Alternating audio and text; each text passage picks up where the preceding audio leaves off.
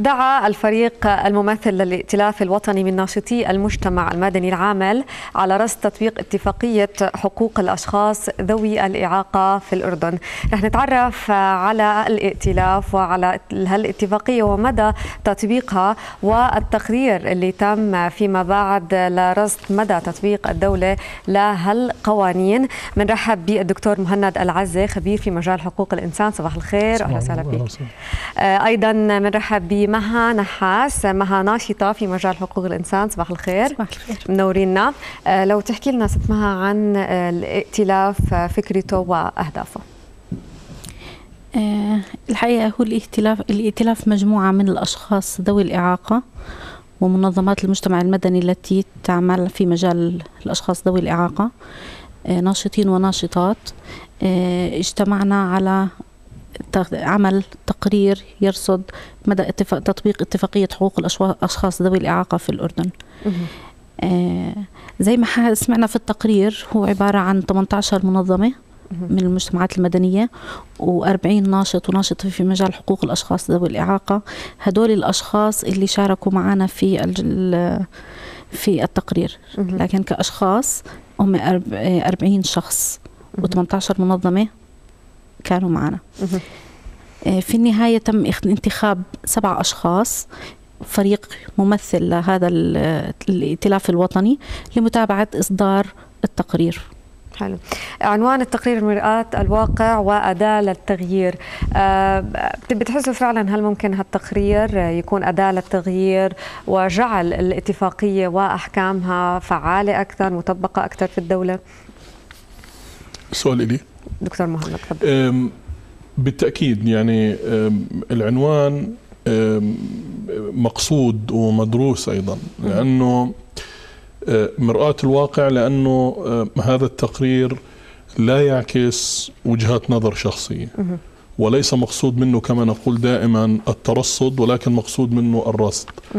لأنه أعتقد سياسة ومنهج يعني كما يقال في أحيانا كما يستخدم الساسة الثناء والتطبيل والتزمير دون قياس حقيقة الواقع يعني لن لن يؤدي إلى شيء. إذا أردنا البناء والتقدم في أي مجال سواء حقوق الأشخاص ذوي الاعاقه أو حقوق الإنسان لابد من قياس الواقع دراسته تحديد ما يكتنفه من آه، فجوات وتحديات بغرض التغلب على هاي التحديات وتلك الفجوات. فمن هاي الزاوية هذا التقرير مرآة للواقع لأنه موثق آه، بشكل آه، علمي وبأنواع مختلفة من الأدلة والأسانيد. بدءا من تحليل منظومة التشريعات الوطنية والسياسات وتوثيقها بالنصوص من مصادرها الرسمية مرورا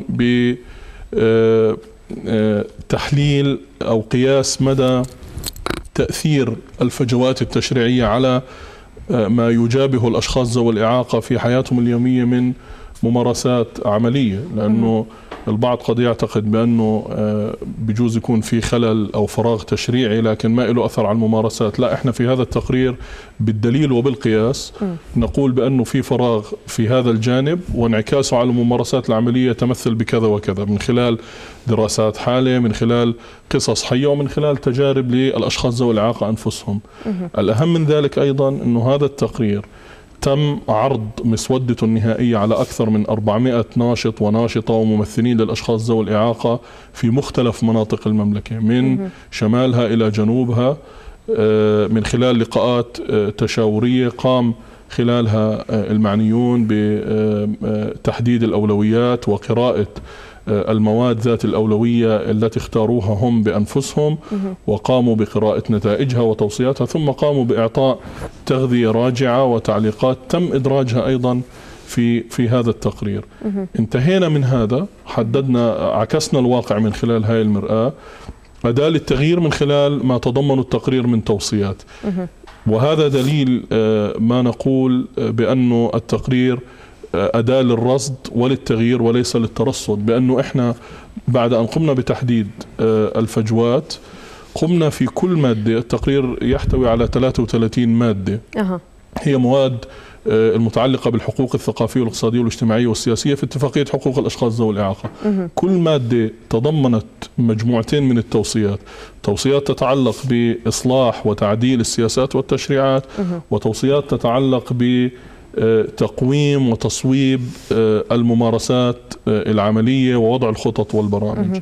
فأعتقد زي ما حكت مها إنه هذا التقرير آه، وزي ما حكى الناطق الرسمي في التقرير اللي عرضتوه من لحظات هذا التقرير أداة للتغيير لصانع القرار ولمنظمات المجتمع المدني أيضا. إن شاء الله إن شاء الله، يعني رح نحكي أكثر عن المخرجات والتوصيات بس بدي أسألك آه، مها آه، شو حسيتوا من خلال دراستكم لتطبيق الاتفاقية آه، الفجوات وين موجودة أكثر شيء بأي جوانب؟ آه، زي ما حكى قبل شوي الدكتور مهند في فجوات على الصعيد التشريعي والقانوني في فجوات على صعيد الممارسات. يعني ممكن في في القوانين بعض بعض النصوص القوانين بت بتكرس التمييز ضد الأشخاص ذوي الإعاقة. آه مثل زي شو؟ لو بدنا نفصل أكثر آه مثلا في عندك قانون بيقول آه يعاقب بخمس دنانير من أفلت حيوانا أو أو مجنونا. يعني هون بيشبهوا الحيوان بالإنسان هم بيقصدوا المجنون الشخص ذوي الإعاقة الذهنية أه. فهون بيربطوا الحيوان بالإنسان مم. وهذا شيء مش صحيح. مش مقبول يعني لا طبعا. عقليا ولا قانونيا ولا مم. هاي أحد الأمور مم. القوانين اللي بتكرس التمييز طب إحنا معنا اتصال ألو صباح الخير. صباح الخير دانا كيفك؟ كيف كيفك نايرين؟ الحمد لله. كيفكم؟ كيف ضيوفكم؟ أهلا وسهلا. أهلا فيكم. أنا بس بدي أعرف للضيوف ب...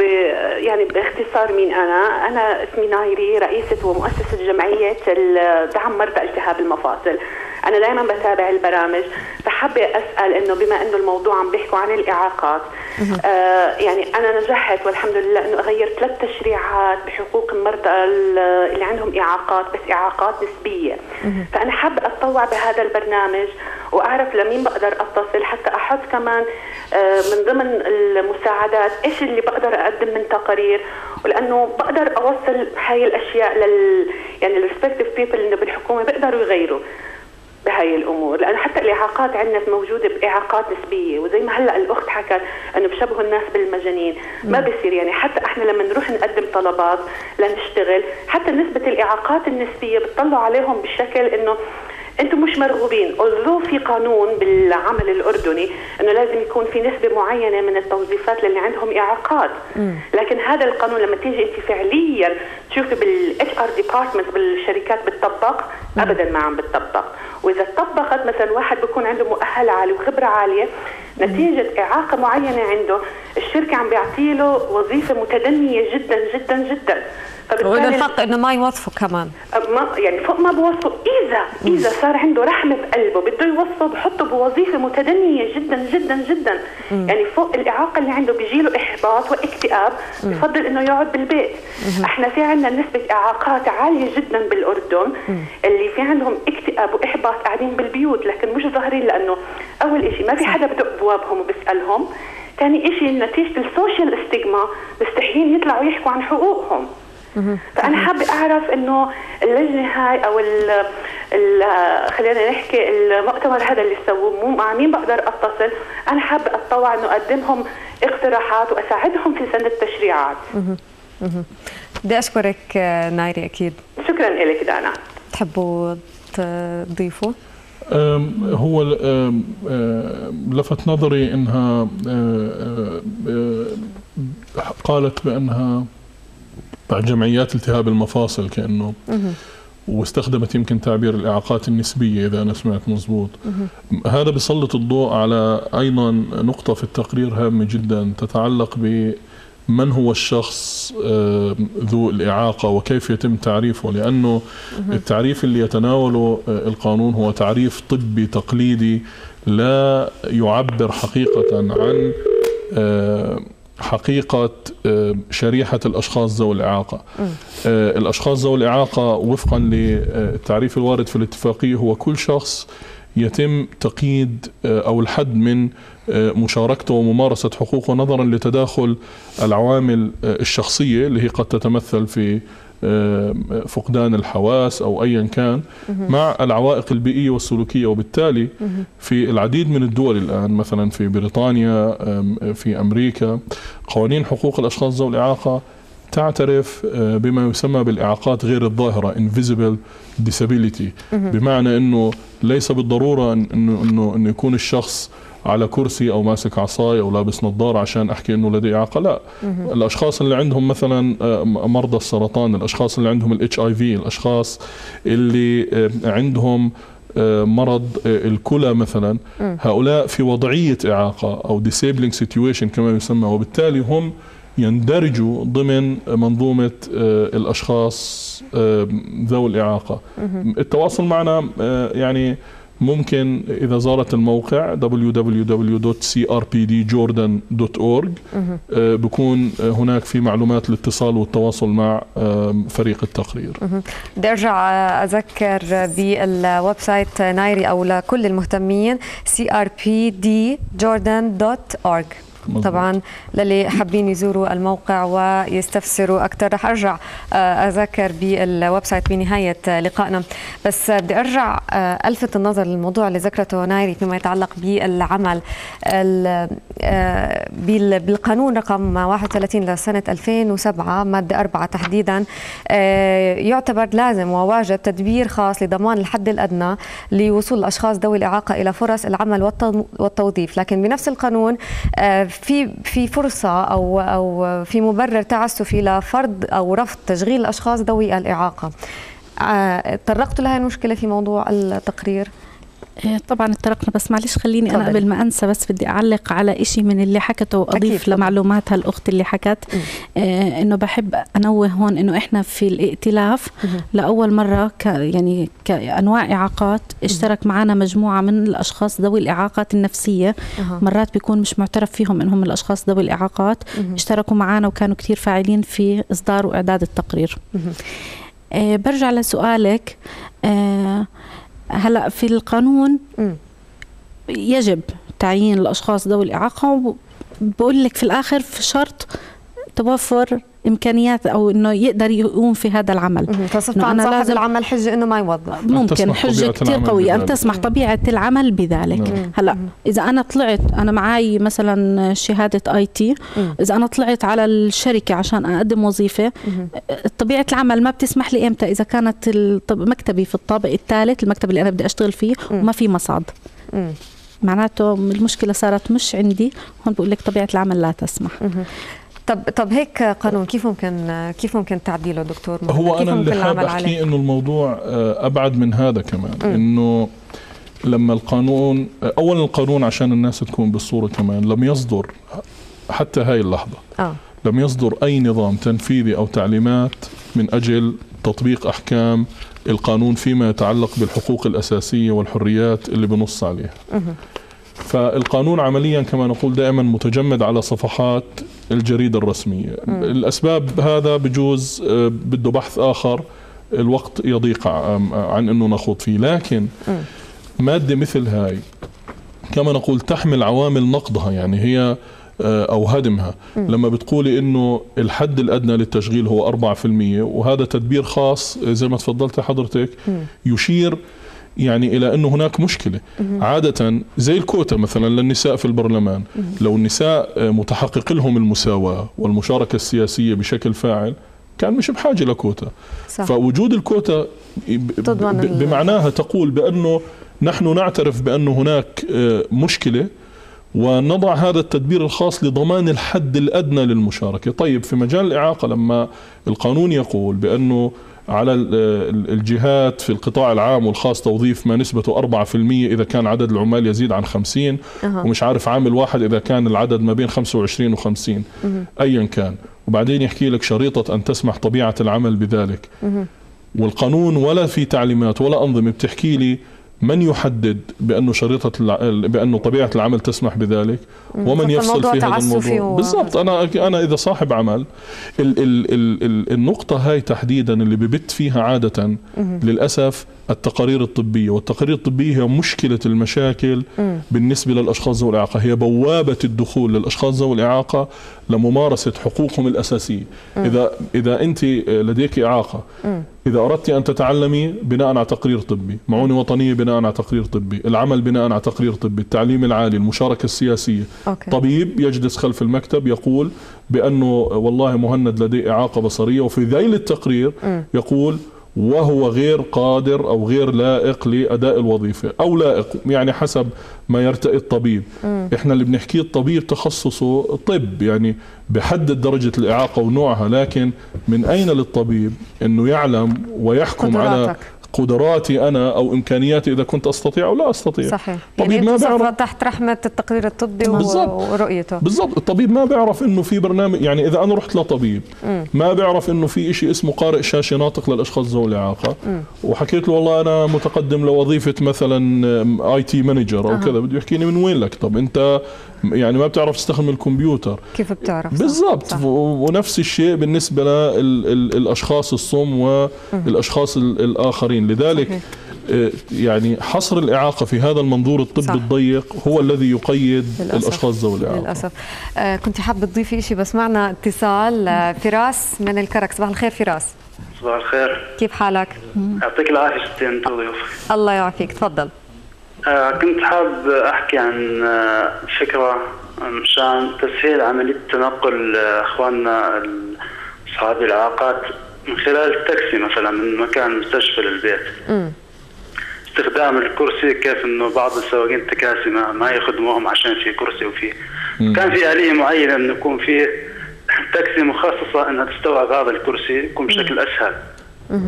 هذا موجود برا بس ما يعني الفكرة ما ناس تقبلها.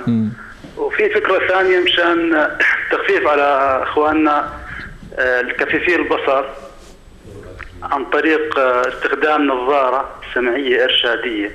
فبدل ما واحد يمسكه آه، يعني تجيبه على الطريق الصحيح عشان ما ما يتعرض لشيء فتكون هاي ال- البرمجة موجودة ما بين نظارة سمعية إرشادية تتعرف على معطيات المكان تحولها لإرشادات سمعية بتوصله للي بده إياه طبعا الحكي تقريبا من خمس سنوات وأنا أحاول أعرضه على الناس اللي يتبنوا هاي الأفكار والمبادرات وما حدا ما حدا راد امم فما أدري يعني لمين نروح عشان مثلا نجسد هاي الأفكار ونقدم خدمة لاخواننا اصحاب العلاقه يعني بدي أشكرك فراس على هالفكرة وهالروح الحلوة. خليك معنا رح ناخذ رقمك تحت الهواء لنشوف كيف نقدر نتعاون مع بعض. دكتور مهند بتحب تضيف آه، شيء هو آم، آم، الزميل تطرق لنقطة غاية في الأهمية والتقرير أفرد لها مساحة آه، واسعة في آه، المادة آه، تسعة من التقرير. وفي المادة أيضا آه، 21 اللي هي خاصة بالتنقل. التهيئة البيئية والتنقل. بالضبط. لأنه آه، التقرير رصد من خلال آه، تحقيقات متخصصة أيضا ومقابلات خصوصا في تحقيق بحب أشير له اسمه سجناء في كراسيهم المتحركة. آه، عملته إحدى شبكات الإعلام المستقل هنا. تظهر مدى الحواجز السلوكية اللي يواجهها الأشخاص ذوي الإعاقة في التنقل خصوصا في سيارات الأجرة. صحيح. لدرجة أنه بعضهم مثلا بدفع أكثر من نص مرتبه فقط من أجل التنقل من البيت إلى العمل وبالعكس لأنه بعض السائقين يرفض تحميله البعض الآخر يطلب آه، أجرة زائدة البعض الآخر بخاف أنه يركب شخص لديه إعاقة. إحنا بتصير معنا بشكل يومي. يعني بكون زميل بأشر لنا لتاكسي معه حدا لا معوش حدا إذا أنا صعب أني أنا أركبه معي. هذا بالنسبة للحواجز السلوكية. ال- العوائق البيئية أنه وسائط النقل نفسها غير مهيئة هذا أيضا موضوع آخر. يعني في التقرير رصدنا بعض التصريحات للمسؤولين عن قطاع النقل. قالوا بأن هناك في كل البلد 14 حافلة مهيئة لكن الكثير منها وفقا لتصريحاتهم لا يعمل لأنه نسبة أو معدل التشغيل بالنسبة لها مش مش معدل مرتفع. آه. هذا التقييد في الحق في التنقل حرم عديد من الأشخاص من آه، العمل. حرمهم من الذهاب إلى التعليم بشكل منتظم. حرمهم حتى من الانخراط في العديد من الدورات التدريبية والنشاطات الاجتماعية. لكن كما نقول كلمة السر دائما هو في ضعف التهيئة البيئية وغياب صحيح. ال reasonable accommodation أو الترتيبات التيسيرية المعقولة. آه ما بتحسي في فيما يتعلق بهذا البند آه، في نوع من انتهاك الخصوصية والاستقلالية الفردية فيما يتعلق بالتهيئه البيئية والتنقل؟ آه، أكيد يمكن حسيتي مني امبارح لما حكيتي معي ودعيتيني على البرنامج. آه، أنا في حال غياب التهيئة البيئية برفض أي حدا يحملني مثلا. هذا يعني إشي أنا ما أي حدا يلمس جسمي مثلا أو حتى إنه يحملني إنه عشان يطلعني لدرجة أو درجتين. صح. فأنا ليش ما يكون في استقلالية وحرية في التنقل لإلي؟ نفس الشيء الأشخاص ذوي الإعاقة السمعية.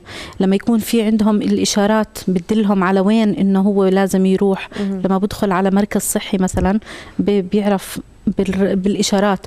وين عيادة الأذن؟ وين عيادة العيون؟ وين عيادة الأطفال؟ هذا لازم يكون واضح لهم بالإشارة. إذا ما في هون انحرم حقه في الصحة. صح صح.